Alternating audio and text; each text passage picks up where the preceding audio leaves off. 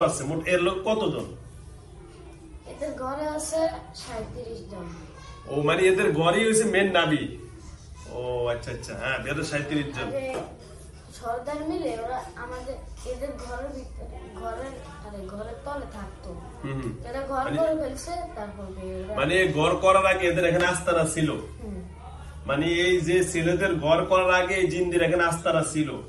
এখন বর্তমানে ওই ঘরে সাঁত্রিশ জন। হুম। সাঁত্রিশ জন হ্যাঁ তারপরে? সাঁত্রিশ জনরা কোনো ক্ষতি করে না। কোনো ক্ষতি করে না? এমনি ঘরের মধ্যে থাকে। থাকে। ক্ষতি করে কারা? ক্ষতি করে এই বেটিগুলো আর কে করে না। করে না। মানে ওর ওই যে ওর বোর সাথে যারা তারা এই ক্ষতিগুলা করে। আচ্ছা। তারা- তো আরেকজনের মধ্যে আমিও আছি। ও আপনিও একজন? তার আপনার নাম ছিল কফু নাকি? আমাকে আমাকে ইচ্ছে করে করাইতে হচ্ছে একজন। কে? এটা কেটা তার? নাম তো জানি না। আমাদেরকে কখনো বলে না আমি জানিও না। আচ্ছা যাও।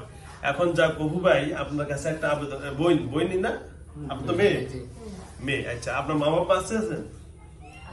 আচ্ছা আমি আপনার কাছে একটা আকুল আবেদন রাখব। হয়তো বেয়াদবি এ করছে অথবা এর ভাবি করছে তাই তো?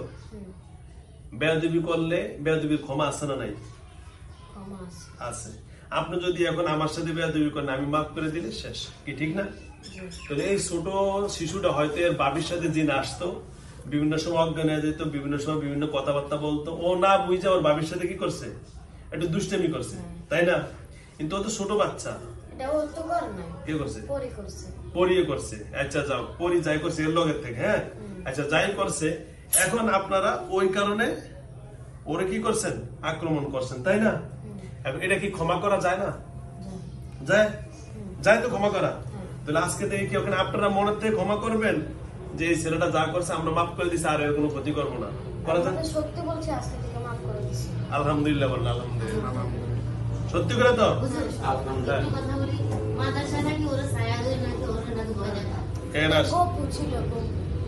বসেন বসেন এখানে বসেন। মাদ্রাসা কি হয়েছে? মাদ্রাসা নাকি ওরা অজ্ঞান করে ওই রাতে বারোটা বাজে উঠছে প্রস্তাব করতে তো ভয়ের রোডা গেলে বাচ্চাদের গোড়া গেলে সবাই ঘুমাইতে তো একলা গেছে মা- একলা গেছে ওই টয়লেটে হ্যাঁ? টয়লেট থেকে বের হওয়ার পথে দেখছে একটা আকাশের লম্বা একটা গাছ গাছের মধ্যে অনেক লম্বা ছায়া কালো ছায়া ও দেখে ওখানে অজ্ঞান হয়ে গেছে। অজ্ঞান হওয়ার পর অনেক ওখানে ফুড়েছিল মাদ্রাসা কেউ জানতো না। হ্যাঁ। পরে ওই যখন জ্ঞান ফিরছে তখন ভিতরে কিছু যাই হুজুর কেউ ডাকছে বাচ্চাদের কেউ মানে সারা দেয় না সবাই ঘুমাইতেছে। হ্যাঁ। এমন ঘুম মানে কেউ জাগনা পাইতেছে না। হ্যাঁ। পরে ওই দেখছে যে মশারির মধ্যে যে কালো ছায়া শুয়ে রয়েছে। ওই প্রচণ্ড ভয় পেয়েছে ভয় পেয়ে কি করছে? ওই কম্বল মোড় দিয়ে ওই ভিতরে ভিতরে ধোয়া দোষ করতে করতে পরে নয় কালো ছায়াটা। পরে ওই মুসির আবার এটা আপনাদের ঘর থেকে একজন আসছে সবার লাস্টের দিন। হ্যাঁ। ওনাদের ঘর থেকে? ও শুধু একটু গাছের মতো বসেছিল। ওখানে আসছে তো ওই জন্য একটু মশার মধ্যে শুতে গেছে ও আচ্ছা ও আচ্ছা। ভয় পেয়ে গেছিল ওটা চলে এমন কোন আচ্ছা যাও। ক্ষতি করে না তো। আচ্ছা যাও। আপনার নাম হলো কফু নাকি ওফু? গফু। গোফু ও গ গ। গোফু। আচ্ছা যাও। এখন আমি যতটুকু জানলাম আলহামদুলিল্লাহ। ওরা বাড়ির মধ্যে আমাকে ভয় দেখায় ছেলেকে ভয় দেখায় আমার বাড়ির যারা আই শোয় হ্যাঁ। ওদেরকে ভয় দেখায় চুল টানে পা ধরে টানে এটা কারা?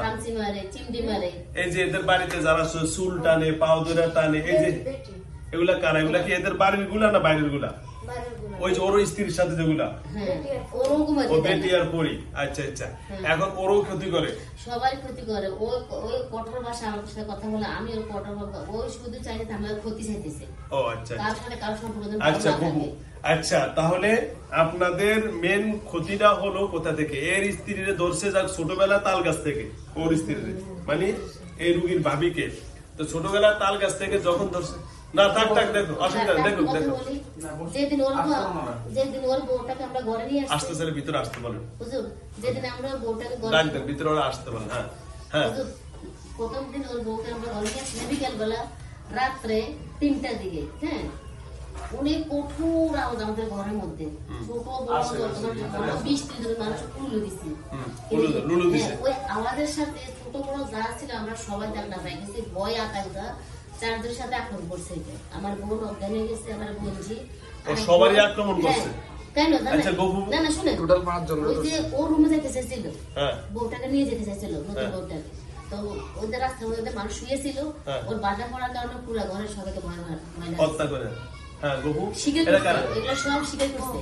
এটা এটা হচ্ছে ওই যারা সর্দারের সাথে একসাথে ছিল তারা। হ্যাঁ। এখন তো তারা নাই। সর্দার কোথায়? সর্দার তো এদের নিচে নিচে থাকতে। চলে গেছে। আপনাদের ভিতরে আপনারা কতজন? আমরা আমরা শুধু দুজন। দুইজন গফু আর অফু গফু এই দুজন কি হন আপনার? আমরা দুজন জমজ ভাই। আপনার তাহলে এর স্ত্রীর সাথে দুজনই আছেন। এই দুজনই আছেন। তো এই দুজনই ক্ষতি করতেছেন। তার মানে আপনাদের সাথে এই ছেলেটা বেয়াদবি করছে এই জন্য এর ক্ষতি করতেছেন। আর ওর বউর ক্ষতি করতেছেন। এখন আমি আপনার বলি ওর বউ তো আর আনে নাই। এখন কি বউর আনা লাগবে আমার কাছে? লাগবে। দেখছেন? সঠিক আনা লাগবে। ওর আচ্ছা, যাও। ওর ওর মা শয়তান। ওর বউর মা শয়তান। ওই শয়তানগিরি বন্ধ হয়ে যাবে সিস্টেম জানা আছে বুঝছ? ওর বউর কারণেই তো এই ছেলেটা অসুস্থ হয়েছে না? এখন মেয়েকে ধরে রাখলে মেয়েও অসুস্থ ছিল অসুস্থ ছেলে মেয়ের জামাইও তো অসুস্থ ঠিক না? আমরা তো ক্ষতি করা বন্ধ করে দিয়েছি। আপনারা? এখন মেয়েকে অন্য একটা ব্যাটা হ্যাঁ। একটা পুতুলের সাহায্যে ক্ষতি করছে। একটা পুতুলের সাহায্যে ক্ষতি করছে? আচ্ছা। পুতুলের ভিতরে গাই মারলে ওর বুতে আঘাত খায়। আচ্ছা ধন্যবাদ আপনাকে এই পরামর্শগুলো দেওয়ার জন্য। তো যাও এখন আমি আপনার কাছে অনেকগুলা তথ্য জানলাম। তো আলহামদুলিল্লাহ এদের পরিবারের সমাধানগুলো আমরা কীভাবে পেতে পারি এদের পরিবারের আজকে থেকে আর কিছু হবে না এটাই মানে এটাই আপনাদের গ্যারান্টি দিচ্ছেন আমাকে ওকে তার মানে আপনারা দুই ভাই গফু আর অফু ঠিক আছে? আপনারা দুইজন চলে গেলেই তো সমাধান নাকি? এটা মাদক করছে একে? একটা নাম বলছে না মা মাদক নাকি? মা তো এটা অন্য কোনো আর অন্য আবার গুরু বাঁধবে নাকি? অন্য কোনো গুরু ওদের ঘর থেকে। ও এটা ওদের ঘরের? ওদের ঘরেরগুলো তো কোনো ক্ষতি করে না? না। কোনো ক্ষতি করে না তো? আরও আরও সুরক্ষা দেয় আরও সুরক্ষা দেয় অসুবিধা ভালোই না, ওরা কয়ে, কয়ে, তোরা এই বাচ্চাকে ক্ষতি করিস কেন? বাচ্চার আম্মাকে ক্ষতি করিস কেন? ওই ঘরেরগুলা বলে। অনেক ভালো। আচ্ছা যাও। সবগুলো মুসলমান। সবগুলা মুসলমান? আচ্ছা তাহলে ঘরের গুলাকে আমি ডাকতে আছি ঠিক আছে? ঘরের ভিতরে কে একজনের নাম বলেন তো? ঘরের ভিতরে যারা আছে?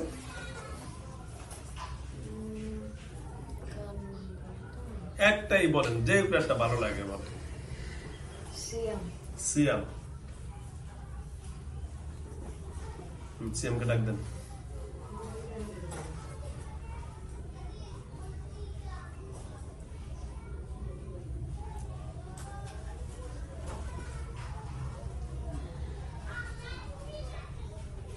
আসসালামু আলাইকুম। ওয়ালাইকুম সালাম। কেমন আছেন সিয়াম ভাই আলহামদুলিল্লাহ ভালো আছি আপনি কেমন আছেন আলহামদুলিল্লাহ আমি ভালো আছি। আপনাদের অনেক প্রশংসা শুনলাম কিন্তু সেই প্রশংসাটা শুনলাম হিন্দুদের মুখ থেকে। কার থেকে? হিন্দুর মধ্যে অফু আর কফু ঠিক আছে? চিনেন তো ওদেরকে? এরা এর ক্ষতি করে এই যে এর বড় ভাইয়ের স্ত্রীকে ক্ষতি করে এর মা আরও বলো পাঁচ ছজন আত্মীয় স্বজন সবাই। ক্ষতি করছে। এই সম্পর্কে আপনাদের কোনো আইডিয়া আছে? জানা আছে? বেশি তো জানি না। শুধু এটাই জানি ওদের সর্দার ছিল সবাই মিলে একসাথে উলু দিয়ে সবাইকে ভয় লাগাইছে উলু দিছে উলু দিছে ওই হিন্দুরা উলু হ্যাঁ? হ্যাঁ। আচ্ছা তাহলে। আচ্ছা আপনার তো সিয়াম আপনারা ওনাদের ঘরে ওনার আপনারা যেখানে থাকতেন ওনারা নাকি ওই জায়গায় ঘর করছে? এতে আপনাদের এখন এই ঘর করার কারণে কোনো কি এদের কোনো ক্ষতি হচ্ছে? হ্যাঁ মানে সরকারের জায়গার মধ্যে ওরা কেন ঘর করছে? এই জন্য এদের ক্ষতি এখন আর কোনো ক্ষতি হবে না এখন তো শুধু ওই মহিলাগুলো ক্ষতি করছে। এখন তাহলে ওই মহিলাগুলো ক্ষতি করতেছে। মানে আপনাদের মাধ্যমে এরা কারও গড়ওয়ালা কারও ক্ষতি হচ্ছে না? কোন ক্ষতি নাই? তাহলে আপনারা এখন ওখানেই থাকতেছেন নাকি? আচ্ছা যাক ধন্যবাদ। আপনারা মুসলমান মুসলমান মুসলমানের ঘরেই থাকবে। এতে কোনো আমাদের আপত্তি নেই। যেহেতু আল্লাহ পবিত্র কোরআন আপনাদের কথা বলছে আমাদের ওমা খলাকুল জিন্না ওয়াল ইনসা ইল্লা লিয়াবুদুন।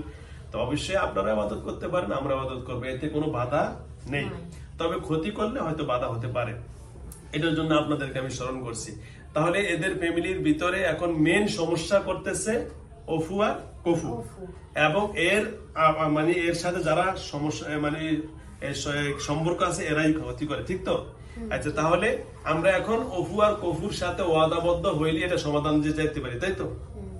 এখানে ওরা তো শুনতেছে না? অপু আবার এখন আসছে। অপু তার সাথে কথা বলছি। তো সিয়াম ভাই আপনাকে অসংখ্য অসংখ্য ধন্যবাদ। তবে অপু আর কপু একটা সুন্দর কথা বলছে। মানে ওরা প্রথম ডরে আসে নাই। জন্য আমি ডাক দিছি আসছে যে ওরা বলুন আমি মারবো বা কোন শাস্তি দিব। কিন্তু আমি তো ওরকম লোক না ঠিক আছে? তা আমি একটা কাছে একটা পরামর্শ চাচ্ছি আপনারা নাকি কোনো খারাপ দিনকে ঘরে ঢুকতে দেন না এটা আপনাদের অনেক প্রশংসনীয় একটা কথা ঠিক আছে? যে মুসলমান সাবিত অবশ্যই যেন একজন হিন্দু বা খ্রিস্টান না ঢোকে। তবে সবচেয়ে বড় কথা হলো এই ছেলেটা হেফজ করে হেফজ করে না? জি। এখন এই পড়ালেখা সম্পর্কে আপনাদের কাছ থেকে একটু একটু বিস্তারিত জানব। এখন তারা কি আর কোনো ক্ষতি করবে বা এরকম কোনো কিছু?